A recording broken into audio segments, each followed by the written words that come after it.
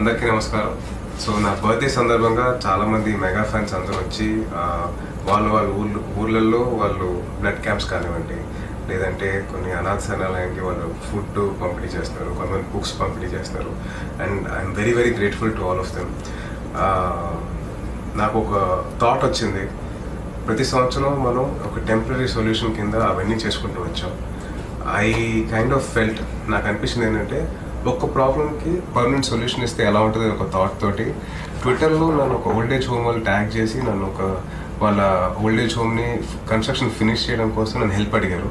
So ఆ మొత్తం కన్స్ట్రక్షన్ని ఐఎమ్ స్పాన్సరింగ్ దెన్ అండ్ అలాగే uh, చాలామంది మెగా ఫ్యాన్స్ని అడిగాను. ఇలాగా నా బర్త్డేకి ఫ్లెక్సెస్ ఇవేం వద్దండి. నాకు మీరిచ్చే ఆ ఫ్లెక్సెస్కి ఏవైతే ఖర్చు పెడుతున్నారో లేదా మీరిచ్చే ఎంత అమౌంట్ అయినా కానీ పది రూపాయలు కానివ్వండి వన్ రూపీ కానివ్వండి ఆ అమౌంట్ నాకు ఇస్తే నేను ఆ ఓల్డ్ ఏజ్ హోమ్కి వాళ్ళ పేరున నేను డొనేట్ చేస్తానని చెప్పేసి చెప్తే చాలామంది ముందుకొచ్చి వాళ్ళు ఒక అమౌంట్ అంతా ఇచ్చారు almost one lakh plus so fans అంత సపోర్ట్ చేసినందుకు I'm very very thankful for them and at the same time ఆ ప్రాజెక్ట్ మొత్తం కంప్లీషన్ వరకు నేను స్పాన్సర్ చేస్తున్నాను and at the same time ఒక వన్ ఇయర్ వరకు ఆ ఓల్డ్ ఏజ్ హోమ్ రన్ అవ్వడానికి నేను స్పాన్సర్ చేస్తున్నాను. ఇవేవి నాకేదో గొప్పలు చెప్పుకోవడం గురించి కాదండి.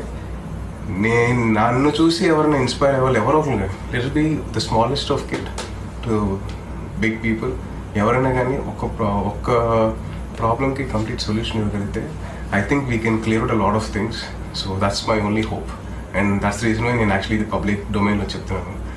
I hope you guys don't get me wrong thank you